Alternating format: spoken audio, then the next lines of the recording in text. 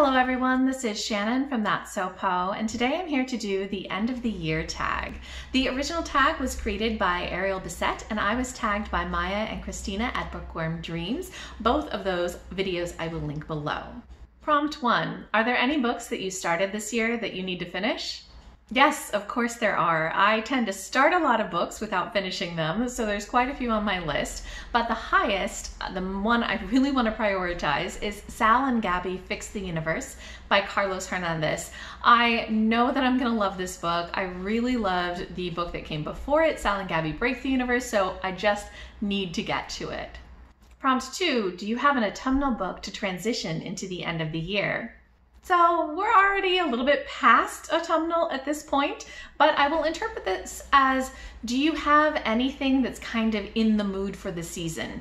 And for me, we are entering the holiday season. And for me, holidays equal baking. So I think that the book that really speaks the season for me is A Wizard's Guide to Defensive Baking by T. Kingfisher. Uh, this is a middle grade about magical baking and I have been hooked and I want to read it. I love T. Kingfisher and I really think that this will be so perfect for this season. Prompt three, is there a new release you're still waiting for? I don't know of any books that have not yet been released that I want to read, but there are plenty of new releases that I still want to read. Uh, most prominent in that is Black Sun by Rebecca Roanhorse. I've been looking forward to this and tried to get to it in November and I just haven't been able to, but hopefully I can get this read by the end of the year. Prompt four, what are three books you want to read before the end of the year? My list for this is actually enormous. There are so many books that I really desperately want to get to by the end of the year, but three of them that would make me really pleased to get to are The Dark Fantastic by Ebony Elizabeth James. This is a nonfiction book that takes a look at the way that um, black girls are portrayed in fantasy. And I think that this is going to be such a good read. Um, I actually bought a physical copy last year and I just, I really want to get to it. The next is In the Dream House by Carmen Maria Machado. I have heard such amazing things about this. I really love memoirs. It sounds like this does such an interesting um, kind of formatting of each chapter being a different style of genre. And I think that that's going to be so interesting. Just also reading about some kind of interesting topics in terms of Carmen Maria Machado's experiences with um, kind of an abusive queer relationship. And the last book that I would really love to get to by the end of the year is The House in the Cerulean Sea by TJ Klune. This is a middle grade, it's not a middle grade, that's the thing. I keep thinking that it's a middle grade because it sounds like it has the sweetness and gentleness and heart of a middle grade, but it's actually an adult novel that is a, a fantasy about um, like a middle-aged social worker who is, has to go to this house um, where it's a home for lots of kids with very difficult magical powers. Um, and I think he ends up falling in love with the caretaker there. And it just, it sounds sweet and it sounds adorable and fun. And I've heard such good things about it. And I think this will be so uplifting to read as one of the last books of the year.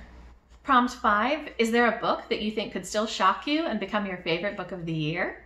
Yes, every book, every single book. Um, I think that I am not the hardest to please when it comes to books. I love so many books and I am so excited about all of the books that I have left on my kind of plans for the rest of the year and I could see any of them becoming a favorite of mine. I'm so, so, so excited about all of the books that I just mentioned and so many others. For example, another book that I'd love to get to by the end of the year is The Goblin Emperor by Katherine Addison. I've heard amazing things about this. Sush has read it, um, my husband, and has highly recommended it to me.